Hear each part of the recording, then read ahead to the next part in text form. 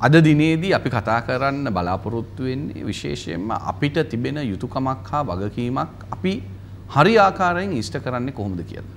ඒ තමයි අපේ දෙමව්පියන් ඒ වගේම වයෝවෘද්ධ වැඩිමහල් පුද්ගලයන් ඒ අයගේ සෞඛ්‍ය තත්ත්වය ආරක්ෂිතව ඒ අයට පහසුකම් ලබා දෙමින් ඒ අයට සුරක්ෂිතව ජීවත්වීම සඳහා අවශ්‍ය කරන මාර්ග උපදේශන ලබා දීම සඳහා කෙටි වෑයමක් තමයි අද දිනේදී අපි උත්සාහ ගන්නේ ඔබව දැනුවත් කරන්න. ඒ පිළිබඳව සාකච්ඡා කරන්න වෛද්‍ය හනීෆා වෛද්‍යතුමාට අපි ආරාධනා කරා පවුල් සෞඛ්‍ය අංශයේ කතිකාචාර්යවරයෙක් වන වෛද්‍යතුමා විශේෂයෙන්ම කොළඹ වෛද්‍ය පීඨයේ සේවය කරනවා. ඒ වගේම වැඩිහිටියන්ට කොහොමද මේ පවුල් සෞඛ්‍ය සේවයෙන් ලැබෙන ප්‍රතිලාභ පිළිබඳව අපි සාකච්ඡා කරන්න බලාපොරොත්තු වෙනවා වෛද්‍යතුමනි. ආයිබෝන් වෛද්‍යතුමනි. ආයිබෝන්. වෛද්‍යතුමනි අපි ප්‍රවේශයක් ගමු මේ මාතෘකාවට. ඊටමත් වැදගත් මාතෘකාවක්. අපේ දෙමව්පියෝ, අපේ වැඩිහිටියෝ, අපි කුඩා කාලේ සිට අපිව උස්මහත් වෙන දක්වා අපිව බලා ගන්නවා.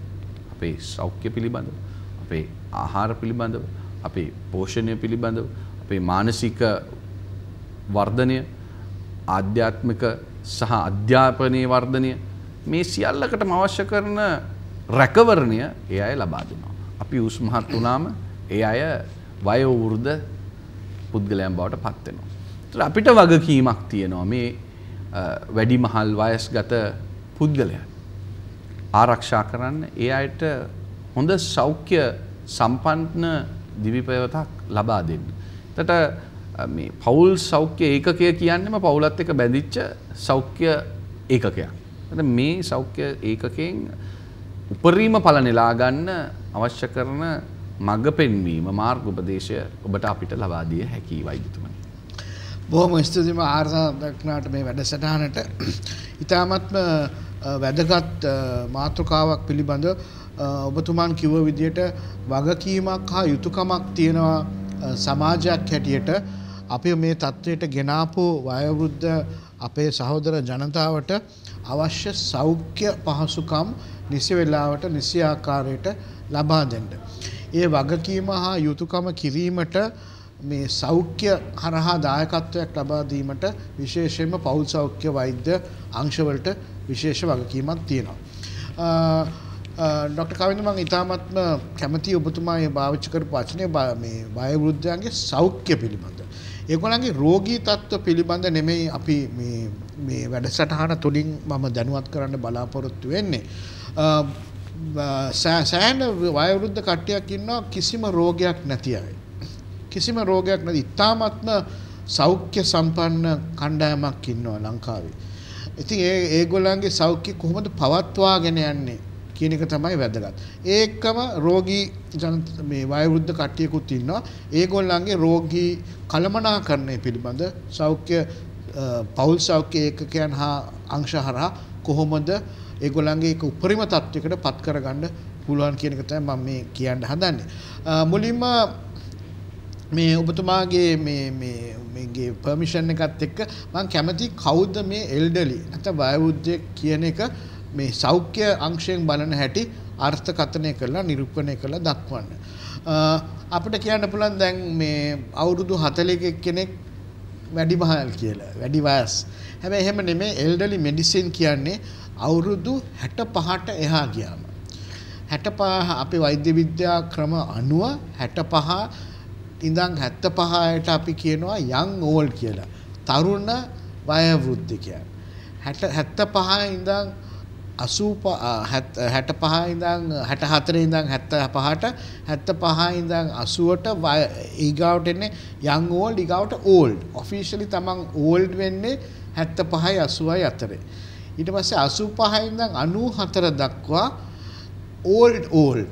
ඒ කියන්නේ වයෝවෘද්ධ වයෝවෘද්ධ old old. 95ට එහා extremely old.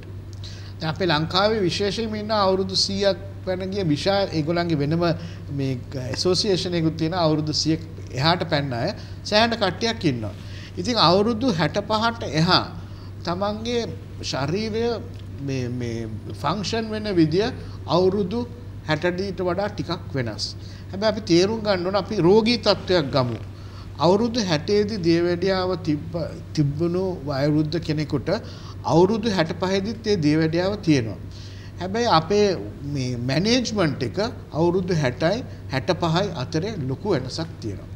ඒක තමයි මං හිතන්නේ මේක බලාගෙන ඉන්න පවුලේ සමාජිකයන් වයෝවෘද්ධිකයන් අම්මලා තාත්තලා පුතාලා දුවලා තේරුම් ගන්න ඕන අවුරුදු 40 60 දී මේ යම් කිසි රෝගයක් බලා ගන්න කළමනාකරන ක්‍රමවේද 65න් එහාට වෙනස් වෙනවා. ඒ වෙනස් වීම තමයි අපි මුහුණ දෙන්න ඕන. ඉතින් කොහොමද මේක කරන්නේ කියන එක සෞඛ්‍ය ක්ෂේත්‍රය හරහා රෝගයෙන් රෝගයට වෙනස් වෙනවා. හැබැයි මේකේ අපි මේ යම්කිසි බේසික් එකක් මතක තියාගන්න ඕන. අපි එල්ඩරි මෙඩිසින් හරහා කරන්න බලාපොරොත්තු වෙන්නේ Tamanගේ quality of life එක වැඩි කරන එක. අනිත් එක තියෙන function එක preserve function. තියෙන යම්කිසි අපි හිතමු මේ සෞඛ්‍ය තත්ත්වය කොහොමද එලෙසම පවත්වාගෙන යන්නේ කියලා. දැන් මේක රෝගීන් රෝගයෙන් රෝගයට වෙනස් වෙනවා. ගැහැණු පිරිමි අතර වෙනස් වෙනවා. මූලිකව ගත්තොත් අපිට කරුණු හතරක් සෞඛ්‍ය ගත්තොත් වයෝවෘද්ධිකයන්ගේ තියෙනවා. එකක් acute illnesses. ඒ කියන්නේ අවුරුදු 90ක කෙනෙකුට බඩේ අමාරුවක් හැදෙන එක සාමාන්‍යයි. ඒ කියන්නේ අවුරුදු 40 හැදෙනට 90 දෙත් හැදෙනවා 85 දෙත් හැදෙනවා. නියුමෝනියාව 40 හැදුනත් මේ මේ 85 දෙත් හැදෙනවා. ඒත් එක මැනේජ්මන්ට් එක වෙනස්. ඒ කියන්නේ acute illnesses අතනකොට. අනිත් එක chronic illness. ඒ කියන්නේ සමාල්ලාට දියවැඩියාව හැදෙන්නේ අවුරුදු 65 80 පැන්නම. ඒකෙදි කොහොමද අපි බලාගන්නේ කියන එක අතන. අනිත් එක ongoing illnesses. ඒ කියන්නේ මේ මේ ongoing නෙමෙයි වයස හින්දා ඇතිවන රෝග. වයස හින්දම ඇතිවන රෝගී තත්ත්ව සමහර ඒවා තියෙනවා. විශේෂයෙන්ම හන්දිවල හන්දිපත්වල වේදනාවන් එතකොට මෙමරි ප්‍රොබ්ලම්ස් ඒවා සාමාන්‍යයෙන් අවුරුදු 60 දී තියෙන්නේ නැති ඒවා. ඒවා වයසත් එක්කම ගැටිච්ච ප්‍රශ්න. ඒතර acute problems chronic problems and age related problems. ඒ කියන්නේ වයස හා සිම්. මේවා ගැන තමයි අද අපි වැඩසටහනේ සාකච්ඡා කරන්න බලාපොරොත්තු වෙන්නේ. ඒකට වෛද්‍යතුමනි දැන් ඔබේ අත්දැකීම් එක්ක විශේෂයෙන්ම ඔබට එන රෝගීන් මෙවැනි තත්ත්වයන් වලදී විශේෂයෙන්ම ඒ අයට ඔබ දෙන උපදෙස් මොනවද සහ ඒ අයගේ පවුල්වල අයට ලබා දෙන උපදෙස් මොනවද මේ අයට ගෙදර ගිහාපුහම සමහරලාට ඒ අයට අවශ්‍ය කරන උදාහරණයට ගත්තොත් මේ ඖෂධ ගන්න අමතක වෙන්න පුළුවන්. ඒ වගේම ඖෂධ මග හැරෙන්න පුළුවන්. දෙට ඒ අයට යම්මාකාරයෙන් ශරීරය දුර්වල පුද්ගලයෝ ඉන්න පුළුවන්. ඒ අයට සමහරලාට මේ විටමින් ලෝ යම් ආකාරයේ දේවල් ඖෂධ දෙන්න සිදු වෙනවා. මේ පිළිබඳවත් යම් කිසි විග්‍රහයක් කරොත් වයිදතුමා. අනිවාර්යයෙන්. තාමත් වැදගත් මුලින්ම ඒකට මේ ප්‍රවේශයක් හැටියට අපේ ඩිමොග්‍රෆික් චේන්ජ් එකක් තියෙන. ඒ කියන්නේ සමාජීය වෙනස්කමක්. ඉස්සර අපි එක ගෙදරක ගත්තම ඉන්නවා ආච්චි, සීයා, දෙමව්පියෝ, තමන්ගේ නැන්දලා, තමන්ගේ මේ යාති සහෝදරයෝ. ඒ අපිට කියන්නේ එක්ස්ටෙන්ඩඩ් ෆැමිලි ස්ට්‍රක්චර් එකක් තිබ්බා. දැන් ඒ ඒ පවුල් පවුල් ඒකේ කුඩා වෙලා නියුක්ලියර් ෆැමිලි එකක් බවට පත් වෙලා. ඒ හින්දා අපි මේ මැනේජ්මන්ට් එක දිහා බලන්න ඕනේ ඒ අංශයෙන්. ඔබතුමා කිව්ව බෙහෙත් අමතක වෙනවා. එතකොට සමහරලාට මේ දුර්වලතා ඇති වෙනවා. දැන් වෙලා තියෙන්නේ අපි එක්කෝ දරුවන් හැටියට අපි දෙමව්පියන්ගෙන් වෙන් වෙලා අපි තනිවම ඉන්නවා. ඒතකොට දෙමව්පියන් තනිවම ඉන්නේ අම්මා හා තාත්තා හෝ අම්මත් විතරක් හෝ තාත්තා විතරක්. ඒතකොට ඒගොල්ලන්ට පිටින් සමාල්ලාට සේවාවන් ලබා ගන්න සේවිකාවන් අපි මුදල් දීලා අරගෙන බලා ගන්නවා ඒගොල්ලන්.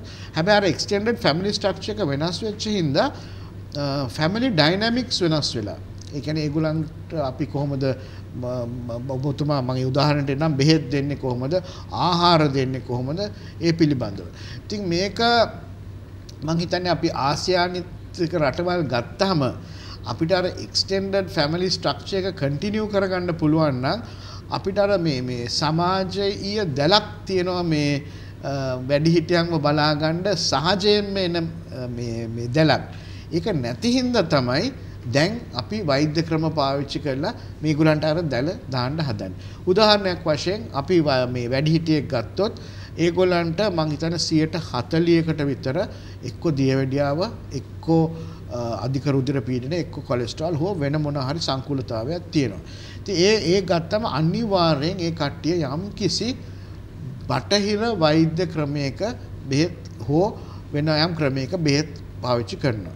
ඒ බෙහෙත් ගන්නකොට ඒ බෙහෙත් නිසි වෙලාවට නිසි කාලෙට ලබා ගන්න ඕන.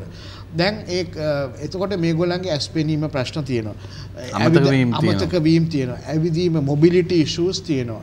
ඒවා ඔක්කොම අපි මේ මේ මුලින්ම සලකා බලන්න ඕන. ඉතින් මොබිලිටි ඉෂුස් මං හිතන්නේ දේශයෙන් අපේ මේ සෝෂල් සර්විසස් මිනිස්ට්‍රි හරහා මම මම දන්නේ දැන් ඒක ක්‍රියාත්මක වෙනවද කියලා වෛද්‍ය බේරක් කැටට ඉස්සර අපිට අර නෝට් එකක් දෙන්න පුළුවන් ඒගොල්ලන්ගේ මේ টয়ලට් හදාගන්න මේ හැංගර්ස් දාන්න රෑම්ප් එකක් දාගන්න මං මේ බල මේ හිතනවා ඒක ඉදිරියටත් මේ ක්‍රියාත්මක. සිදු වෙයි කියලා. ඒ අර ඉන්ටර්නල් එන්වයරන්මන්ට් එක හදා ගන්න ඕන. ඊට පස්සේ අපි මෙඩිකල් ඉෂුස් ගන්නකොට මුලින්ම බලන්න ඕන ආහාර පාන. ආහාර පාන ගත්තම දැන් අපි හිතමු දියවැඩියාව ප්‍රෙෂර් එක අධික රුධිර පීඩනය හා වකුගඩු සම්බන්ධව ඒතර අපි විශේෂඥ වෛද්‍යවරයෙක් ගාවට ගියොත් එයාගේ සීනි බලා ගන්න කියලා කියන සීනි එපා.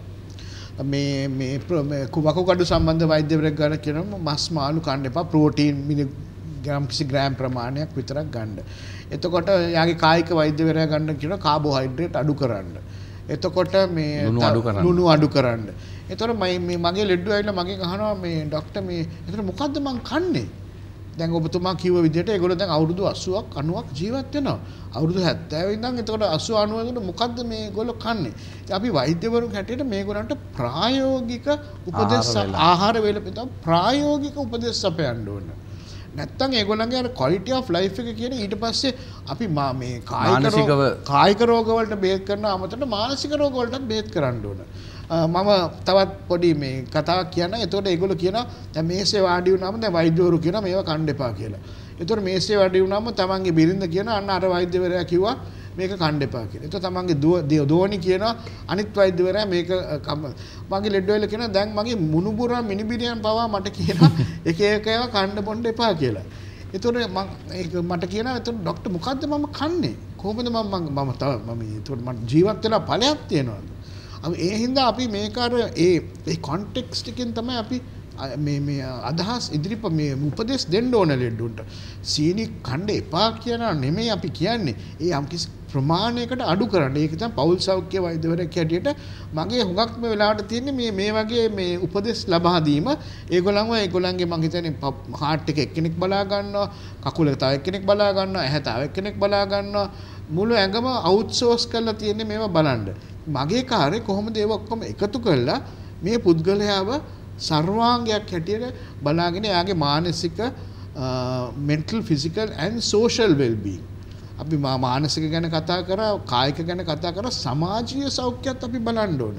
දැන් මේ වයසට යන්න යන්න ඒගොල්ලන්ගේ යාළුවෝ නැති වෙලා කාත් එක්කවත් කතා කරගන්න ක්‍රමයක් නැහැ. මේ මං අපේ තියෙන අපේ තියෙන සංස්කෘතිය අනුව වැඩිහිටියන් එක අපි කතා කරන ක්‍රමයක් තියෙනවා. ඒගොල්ලන් සමහර අය අපිත් එක්ක සාකච්ඡා කරන්න කැමති නැහැ පවුලක් හැටියට. හැබැයි ડોක්ටර් කෙනෙක් ගාවට ආපුවම අපි ඒගොල්ලෝ සෑහෙන ඒගොල්ලන්ගේ ප්‍ර- පුද්ගලික ප්‍රශ්න අපිට කියනවා. ඉතින් මේ මේවා තමයි මේ මං හිතන්නේ පවුලත් තමන් ඉන්න කට්ටියත් සංවේදී වෙන්න ඕන. දැන් මේ අපි තනියම ඉන්න කපල් එකක් ගමු එල්ඩලි කපල් එකක්. ඒගොල්ලන්ගේ බෙහෙත් අවශ්‍යතාවය ගැන මා දැන් දිනපතා ගන්න බෙහෙත් අපිට තියෙනවා පිල් බොක්ස් කියලා එකක්. ඉතින් තමන්ගේ දුව හෝ පුතා හෝ ඒ සේවය ලබා දෙන සතියකට සැරයක් ගිහිල්ලා ඒක පුරවලා දෙන්න පුළුවන් නම් ඒ බෙහෙත් නිසි මාත්‍රාවට නිසි වෙලාවට ලබා ගැනීම කිසිම ප්‍රශ්නයක් නැහැ. ගන්න තියෙන අර පිල් බොක්ස් එක විතරයි. එක්ක කන්න කලින් එක්ක කෑමට පසුව ඒක එකම මාක් කරලා තියෙනවා ඩොක්ටර් කවින්ද. ඉතින් ඒ වගේ ඒක ඒක වැඩි මුදලක් යන්නේ තමන් එකට මේ මේ මේ මේ මුදදී ගන්න අකමැති නම් හදා ගන්න පුළුවන් එකක් ඒ පෙට්ටි. අපේ වෛද්‍ය සිසුන් මේවා හදලා මේ ඒ රෝගීන්ට ගිහිල්ලා අපේ මේ රෝගී අපි දැකලා තියෙන එක කරන. අනිත් එක ආහාර වේල. ආහාර වේල අපිට සංවිධානය කරන්න පුළුවන්. අපි හිතමු දියවැඩියා රෝගී වකුගඩු සංකූලතාවය තියෙන. ඉතින් ඒ ඒ වෛද්‍ය විශේෂඥ වෛද්‍යවරුත් එක්ක කතා කරලා ඉන්ඩිවිජුවලයිස් කරලා අපිට යාගේ ඩයට් එක හදන්න පුළුවන්. ඒ වගේ හුඟක් දේවල් පවුල් සෞඛ්‍ය වෛද්‍යවරයා හරහා කරගන්න පුළුවන්. සමහර වෙලාවට මේ මේ විශේෂඥ වෛද්‍යවරු ඒ අංශ දිහා වැඩිපුර බලන්නේ නැහැ. ඒගොල්ලෝ බලන්නේ රෝගයට කොහොමද ප්‍රතිකාර කරන්න කියලා. අනිත් එක මම එකක් මතක තියාගන්න ඕනේ මේ මේ වැඩිහිටිය වෙන්න වෙන්න ගන්න බෙහෙත් ප්‍රමාණය වැඩි වෙනවා. මට සමහර ලෙඩ්ඩු ඉන්නවා මේ බෙහෙත් විසි දෙකක් ගන්න මාත්‍රාවකට. කෑමවේල්ට වඩා කෑම වෙලට වඩා බෙහෙත් වැඩි. ඉතින් සමහර වෙලාවට එකම බෙහෙත දෙතුම්පා වෙනත් නම් වලින් ගන්නවා. ඉතින් මේක නිරීක්ෂණයක මේ බලාසි ප්‍රේක්ෂකයන් ඉන්නවනම් කරුණා කරලා කරුණා කරලා ගිහිල්ලා බලන්න මේ බෙහෙත් තුණ්ඩුවේ තුන් ડોක්ටර්ස්ලා තුන් දෙනෙක් ගාවට යනවා නම් මේ බෙහෙත් තුණ්ඩු තුනේ සමාන බෙහෙත් තියනවාද? ඒගොල්ලෝ මේ අනි සමාජලට නොදැනුවත්ව තමයි මේක දෙන්නේ. ඉතින් ඒ බෙහෙත් අඩු කරලා එක බෙහෙතකට බහින්න. ඉතින් මේක තමන්ගේ ආර්ථිකයටත් ලොකු මේ බලපෑමක්. ඉතින් ඒ වගේ මේ ප්‍රශ්න ගැන තමයි අපි විශේෂයක් මේ මේ කෝඩිනේෂන් of care කියන්නේ ඒකයි අපේ පෞල් සෞඛ්‍ය වෛද්‍ය මේ විවිධ වෛද්‍යවරුන් හරහා කෝඩිනේට් කරන්න පුළුවන්. ඒ බෙහෙත් වර්ග මේ විශේෂයෙන්ම. ඒ හින්දා ඩොක්ටර් කවින්ද ඇහුව විදිහට අපිට පෞල් සෞඛ්‍ය වෛද්‍යවරුන් හැටියට මේ වැඩ කරන්න පුළුවන් ටීම් එකක් හැටියට. මේ මේ මේ වයෝවෘද්ධ කට්ටිය ගත්තම අපි ෆිසියෝതെරපිස්ට්ත් එක්ක වැඩි කරන්න ඕන. ස්පීච් විශේෂයෙන්ම ආඝාතය හැදිලා ස්ට්‍රෝක් එක එක ෆිසියෝതെරපිස්ට්ට ස්පීච් තෙරපිස්ට්ට ඩයටීෂන්ට ඉතින් ඒ ටීම් එකේ නායකත්වය ලබාගෙන විශේෂඥ වෛද්‍යවරු මට අමතකුණා මගේ සහෝදර වෛද්‍යවරු ඒගොල්ලන් එක්ක වැඩ කළා. තමන්ගේ ලෙඩාට උපරිමයේ සෞඛ්‍ය සේවයෙන් කොහොමද ලබා ගන්න කියන එක තමයි අපේ කාර්යය. ඒක ගැන කරුණාකරලා මේ ප්‍රේක්ෂකයන් දැනුවත් වෙන්න එහෙම කට්ටියක් ඉන්නවා ඒක කරන්න කැප වෙලා ලෑස්ති වෙලා ඉන්න. ඒක සමහර ලාවට කියනවා මේ වයසට ගිහම පොඩි ළමයි වගේ කියලා. එයා බොහොම සෙන්සිටිව්. බොහොම ඒත් එක්ක එයාගේ මානසික සෞඛ්‍ය ගැන මොකද්ද අපි අවධානය යොමු කරන්න ඕන කාරණා බවට පත් වෙන්නේ වෛද්‍යතුමනි? බොහොම ස්තුතියි ප්‍රශ්නේ ඉතාමත්ම වැදගත් මේ අපි දන්නවා මේ මං කිව්වා අර කලින් කියපු විදිහට ඒජ් රිලේටඩ් ඩිසීසස් කියලා තියෙනවා ඒජ් රිලේටඩ් ඩිසීස් වලින් ප්‍රමුඛතාවයක් ගන්නෙ මානසික සෞඛ්‍ය. ඒ කියන්නේ මෙමරි ඉෂුස් හුඟක් වෙලාවට මේ මේ අපේ වැඩිහිටි ජනතාව අතර තියෙනවා. ඒ හින්දා ඒගොල්ලෝ මානසිකව වැටෙන්න ලොකු chance එකක් තියෙනවා. අනිත් එක මං කියපු අනිත් හේතු හින්දා දැන් එන්න එන්න ආර්ථිකය අමාරු වෙනවා බෙහෙත් වර්ග ගන්න බෙහෙත් වල මිල වැඩි වෙනවා. ඉතින් ඒ ප්‍රශ්න ලොකුවට බලපාන්නේ මේ වැඩිහිටි ජනතාවට. උදාහරණයක් වශයෙන් මං කිව්වොත් අපේ තියෙන මේ ඉම්පවර්ෂින් කියා කියලා මේ කුඩා දරුවෙක් එක්ක පවුලක් ඉන්නවා නම් ඒගොල්ලෝ වැය කරන මුදල් රෝගී වැඩ වැය කරන මුදල් ප්‍රමාණය මේ අපි හිතමු රුපියල් 100යි කියලා ඒව ඒකම මේ වැඩිහිටි රෝගී පවුලක් එක්ක ඉන්නවා නම් මේ යම්කිසි පවුලක් ඒක ඒ වගේ දහ ගුණයක් වැඩි.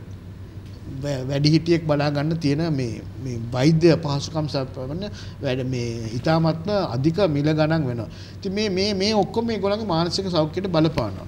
හැබැයි ඒගොල්ලන්ට තියෙන ලොකුම ලොකුම මේ මේ මේ මේ ප්‍රාග්ධනය කියලා මම කිව්වොත් වෙලාව. ඒගොල්ලන්ට ඇති වෙන්න වෙලාව තියෙනවා. ඉතින් මං හිතන්නේ අපි මේ මේ දෙමව්පියන් හැටියට අපේ දෙමව්පියන් අපේ එදිනදා ජීවිතවලට සහභාගී කරව ගන්න ඕන. උදාහරණයක් වශයෙන් මම හොඳටම දන්නවා මේ මේ හොඟක් මගේ සහෝදර වෛද්‍යවරු ළමයි ඉස්කෝලෙන් මේ මේ පික් කරන්න යන්නේ ඒගොල්ලන්ගේ දෙමව්පියන්. ඒගොල්ලන්ව ඒවට සහභාගී කරනවා. ඒගොල්ලෝ හරි කැමති ඒවට සහභාගී වෙලා දායකත්වය දෙන්න. ඉතින් ඒගොල්ලන්ට ඒකට අවස්ථාව මානසික සුවයට වට මානසික සුවයට ඉතාමත්ව අනිත මම හිතන්නේ වෛද්‍යතුමනි එයාගේ මේ ජීවිතයට අරුතක් එක් කරන්න පුළුවන් කාරණයක් තමයි මේ මුණුපුරු මිනිපිරියන් ඒ අයගේ ඒ කරන ක්‍රියාදාමයන් දැක්කහම එයාට යම්කිසි නැවුම් නැවුම් හැඟීමක් ඇති වෙනවා. අනිවාර්ය ඒ හැඟීම් ඇති කරන්න පුළුවන් ඒක ඉන්න පල්ලෙහා ජෙනරේෂන් එකට. ඒගොල්ලන්ට දැන් කන්ට්‍රෝල් එකක් නැති හින්දා. ඉතින් ඒ වගේ දැන් ඒක බෙහෙත් පෙත්තක් දෙනවට වඩා ඒ ආදරය ඒ කරුණාව ඒ කරුණාව මට මගේ මේ මේ ප්‍රායෝගික ජීවිතයෙන් බෙහෙත් පෙති දෙනවට වඩා අපි හිතමු මේ මේ ડિප්‍රෙෂන් එකක් ට්‍රීට් කරන්න ඒ වගේ බිහේවියරල් තෙරපි එකක් දෙන එක මට ඉතාමත්ම තෘප්තිමත් ටැබ්ලට් එකක් දෙනවට වඩා. ඉතින් ඒ වගේ හුඟක් ක්‍රමවේද තියෙනවා අපිට. දැන් අපි හිතනවා පල්ලි පන්සල් ආගමික කටයුතු වලට ඒගොල්ලන්ගේ දායකත්වයේ සහභාගී කරගන්න. දැන් ඔබතුමා නිවැරදිව කිව්වා වගේ අපේ ජනතාව ඉතාමත්ම දීර්ඝ කාලයක් ජීවත් වෙනවා. මම හිතන්නේ අවුරුදු 65ක් එක්කෙනෙකුට අවුරුදු 15ක් 20ක life expectancy at 60 can be about 20 years. ඒ අවුරුදු 20 කොහොමද කළමනානේ සෞඛ්‍යමය වශයෙන් කළමනානේ කරලා හෙල්දි ඒජිං තත්වයකට ගේන්න තමයි අපේ සෞඛ්‍ය ක්‍රමේ මේ මේ මේ දැන් කැප වෙන්න ඕනේ. ඒකට මේ වාතාවරණය දැන් අපි මං හිතන්නේ මේ මේ ඉදිරි රජයන් වලින් ඒක විශේෂයෙන්ම අවධානයක් යොමු කරයි කියලා මම බලාපොරොත්තු වෙනවා. ලිස්සල වැටිලා හෝ යම් ආකාරයෙන් වැටීමක් සිදු වෙලා උකුල් ඇටේ කැඩෙනවා. ඒකත් එක්ක ඒ අය සමහරලාවට ශල්්‍ය කර්මයෙන් ලක්ුණත් බෙඩ්රිඩන් වෙනවා ඇඳට වෙනවා ඒ අයගේ අවසානයේ ඒ ආකාරයෙන් නිම වෙනවා. ඒවගේම සෙම වැඩි වෙලා ඊට පස්සේ නියුමෝනියා තත්ත්වයක් ඇති වෙලා ඒ තුලිනුත් ඒ අයගේ අවසානයට ඒ අය එළඹෙනවා. ඒතර මේ தත්ත්වය දෙක තමයි අපි බොහෝ විට මේ දකින්න අහන්න ලැබෙනවා බොහොම බොහොම ප්‍රචලිතව ඊට අමතරව වෙන කාරණා රාශියක් තිබෙනවා. මේ ගැනත් මේ වැඩසටහන අවසන් කරන්න කලින් යම්කිසි පූර්විකාවක් කරන්න පුළුවන් දැනුවත් කිරීමක් කරන්න පුළුවන් වෛද්‍යතුමා ඔබතුමා ඉතාමත්ම නිවැරදිව identify කරලා තියෙනවා මේ common causes of mortality in the elderly uh, pneumonia falls and confusion. So මේ new මේ මේ මේ ශ්වසන පද්ධතිය හා සම්බන්ධ රෝග වැඩිහිටියන්ගේ සෑහෙන ප්‍රශ්නයකට අපි දන්නවා මේ මේ OPD එකක් ගත්තම හුඟක් රෝගීන් එන්නේ මේ රෙස්පිරේට් මේ මේ ශ්වසන පද්ධතිය හා සම්බන්ධ රෝග. ඒක තමයි මම මේ කියමින් හිටියේ ඩොක්ටර් කවිංග මේ ඒගොල්ලන්ගේ අපි ප්‍රාථමික සෞඛ්‍ය ඒකක හරහා හරිම ලේසි මේවා ඩිටෙක්ට් කරන්න. මේ සුළු උපකරණ තියෙන පීක් ෆ්ලෝ මීටර්ස් කියලා හරිම ලේසි. හරිම ලාභයුත් ඒවා ගන්න. ඒවා මේ පාවිච්චි කළා අපිට රිස් ෆැක්ටර්ස් ගැන අපි කලින් වැඩ සටහනක කතා කරා.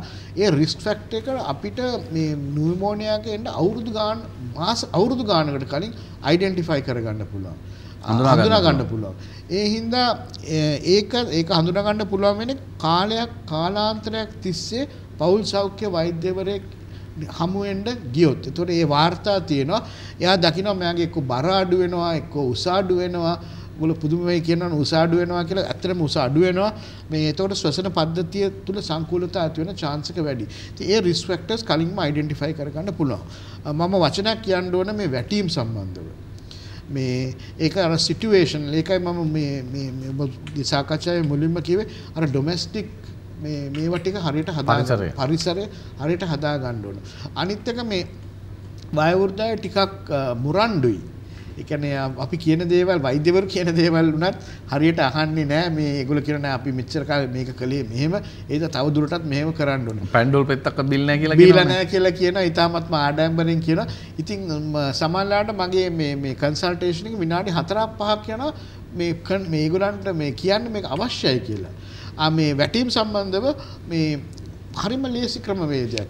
මේ හැරමිටියක් භාවිතා කරන්න පුරු ඒත් ඒගොල්ලන්ගේ අර මේ මේ අර ආත්ම මේකට අභිමානයට ඒක කැලලක් වෙනවලු. ඉතින් අපි කියනවා නෑ ඊට වඩා හොඳ තේරුම් කරලා දෙන්න පුළුවන් යාට. කරලා දෙන්න පුළුවන් මේක අවශ්‍යයි කියලා. ඉතින් ඒගොල්ලොත් එක්ක මම මේ කෙටියෙන් කියන්න හදන්නේ බෙහෙත් දෙනවට වඩා ඒවා විශේෂඥ වෛද්‍යවරු හුඟක් වෙලාට ඒ බෙහෙත් අපි ඒව කන්ටිනියු කරනවා.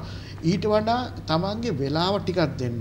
ඒගොල්ලන්ට ටිකක් කතා කරන්න. ඒගොල්ලන්ට අවශ්‍ය තමන්ගේ මේ එයාද ඉමෝෂන්ස් කාත් අපේ පවුල් සෞඛ්‍ය වෛද්‍යවරු ඇවිල්ලා ඒගොල්ලන්ගේ ප්‍රශ්න ගැන නිකන් කියන්න සාකච්ඡා කරන්න. ඉතින් ඒකට වෛද්‍යවරු හැටියට අපි කැප වෙලා ඉන්න ඕන විනාඩි 5ක් 6ක් වෙනම තියන්න මේ විශේෂයෙන්ම වයෝවෘද්ධ මේ මේ මේ පේෂන්ට් කෙනෙක් ආවොත් බෙහෙත් දෙන එක හරි ලේසි තුන්ඩුව ලියන එක විතරයි තියෙන්නේ. ඊට වඩා පොඩ්ඩක් ඒගොල්ලන්ගේ කර මේ වර්තමාන තත්ත්වය ගැන අහලා බලන්න. කොහොමද ඉන්නේ සතුටුද? හරිම සිම්පල් ඒකන හරිම සතුටුමත් වෙනවා. එතකොට මානසික සෞඛ්‍යයට විශාල බලපෑමක් ඇති. වෙනවා මානසික මානසික සෞඛ්‍ය තුලින් කායික සෞඛ්‍යත් වර්ධනය කරගන්න පුළුවන් කියන එක අපි තේරුම් ගන්නට අවශ්‍යයි වෛද්‍යතුමනි. එහෙමනම් අපිට කාලය නික්ම ගිහිල්ලා තියෙනවා මේ වැඩසටහන ඉතාමත් වැදගත් වැඩසටහනක් බවට පත් වෙනවා. අපි සාකච්ඡා නොකර මාතෘකාවක් අද දිනේ සාකච්ඡා කරේ විශේෂයෙන්ම අපිට අපගේ වැඩිහිටි පරම්පරාව අපගේ වයවෘද්ධ පරම්පරාව අපිට අමතක කරන්න බෑ. ඒක අපේ යුතුයකමක් වගකීමක් අය බලා ගැනීම. ඒක අපේ සංස්කෘතියේ කොටසක් වෛද්‍යතුමනි. එහෙමනම් ඔබ සියලු දෙනාටම ස්තුතිවන්ත වෙනවා අද දිනේදී අපිත් එක්ක සහභාගී වීම පිළිබඳව වෛද්‍යතුමනි ඔබතුමාටත් බෙහෙවින්ම ස්තුතිවන්ත වෙනවා. ඒ වගේම නැවතත් සුපුරුදු දිනේ සුපුරුදු වේලාවදී වෛද්‍ය හමු වැඩසටහනත් සමග එක්වෙමු කියමින් ඔබට සුබ රාත්‍රියක් ප්‍රාර්ථනා කරනවා. ආයිබෝවන්.